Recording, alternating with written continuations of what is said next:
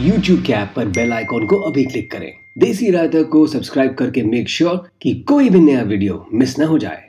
Dev and Sonakshi have been a very different couple they love each other immensely they are both strong individuals but they could never live with each other for long no one could ever replace their love for each other and neither moved on but their realisation of feeling for each other always require additional help their confessions have been nothing less than dramatic. First time when Dev confessed his love for Sonakshi, it took him time till his engagement day. He realized his true feelings for her only when it was time to lose her forever. He just couldn't marry anybody else. He broke his engagement and ran to Sonakshi. Like their love required external or situational help to bind them, they also break up due to similar external factors.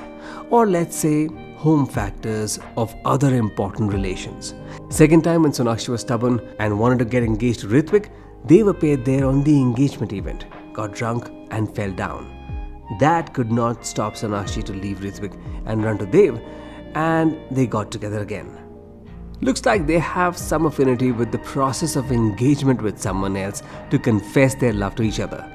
This is happening again. There is another engagement planned with Nisha. However, this one is different. First engagement of Dev was about his ignorance of his own feelings. Second engagement of Sonakshi was about her stubbornness of not accepting Dev's love and Dev couldn't see her go.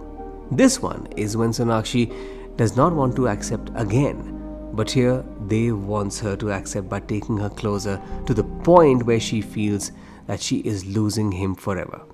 Will Sonakshi again run to Dev to stop putting the ring in someone else's finger? Is she going to run to him or is she going to be able to stop herself from doing so? We'll find out soon.